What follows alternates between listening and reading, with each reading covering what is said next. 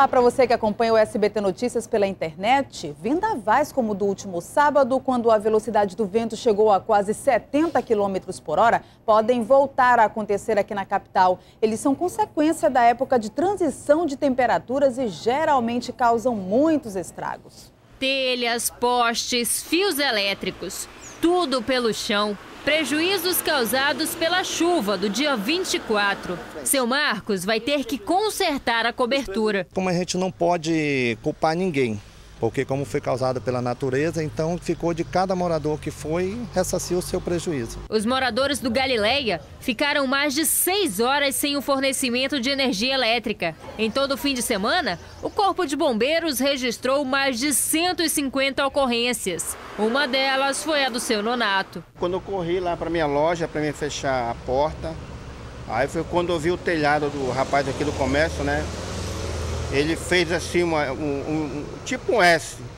Ele foi assim para frente, depois ele foi para trás e caiu lá na outra rua. No último sábado, durante a tempestade, as rajadas de vento chegaram a quase 70 km por hora. E até outubro, novas estabilidades com a mesma proporção podem voltar a acontecer.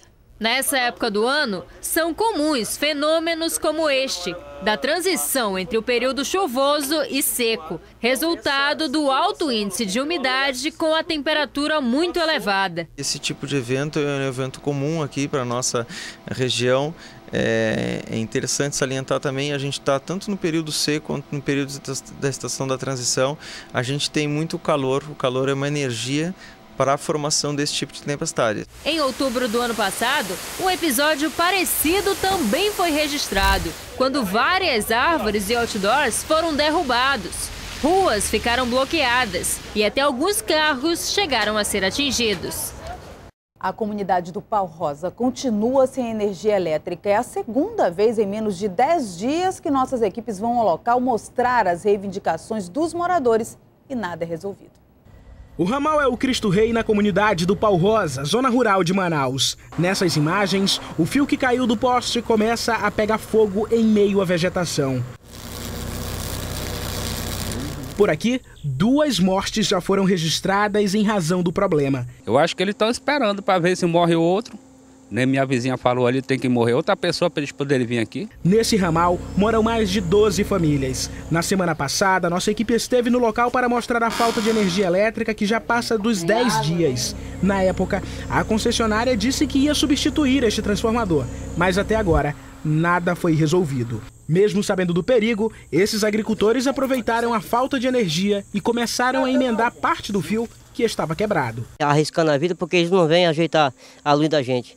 Entendeu? Então isso a gente deixa muita gente revoltado. Este aposentado, para se livrar do transtorno, investiu 5 mil reais nesse gerador. É a venda de aves que ajuda no orçamento do mês. Por isso, ele construiu até um berçário que precisa ficar aquecido em 37 graus. E caso não tivesse gerador aqui, era certo um prejuízo. Como eu já tive de 120 ovos, já tive de 100 ovos, mandar enterrar por falta de energia. E foi próximo dali que o pior aconteceu. Já era noite e toda essa área estava sem iluminação em razão da falta de energia.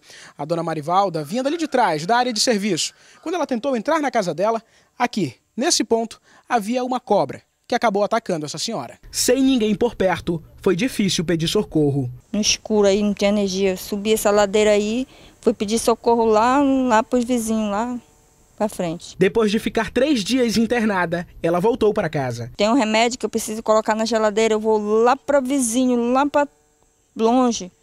Todo dia eu tenho que subir, eu não posso estar tá andando muito. Tá muito dando um sarou bem. Sem esperança para a solução do problema, essas pessoas permanecem no escuro.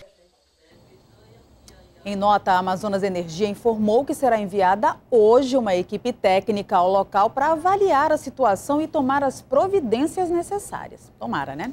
A seguir tem futebol. O Nacional intensifica os treinos para enfrentar o Vasco amanhã e o Salgueiro no domingo. E ainda é preso o acusado de ter assassinado um funcionário do Senai em Parintins. Agora são 10 horas e 46 minutos. Nós voltamos já.